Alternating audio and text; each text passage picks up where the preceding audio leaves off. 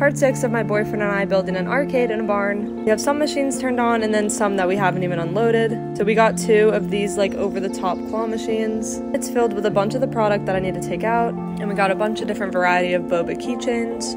We have this pink one, brown ones, green ones, and then we have the fruit keychain coin purses. These would have been so good to have during the summertime. But now I'm just trying to restock and fill some of the empty claw machines. So we got these banana splits. They're kind of funny. I don't know how well these are gonna do, but hey, we got them to try, right? And then I'm taking some of the extra and putting it in the bottom. That way, when I'm in the arcade, it's already really easy to restock.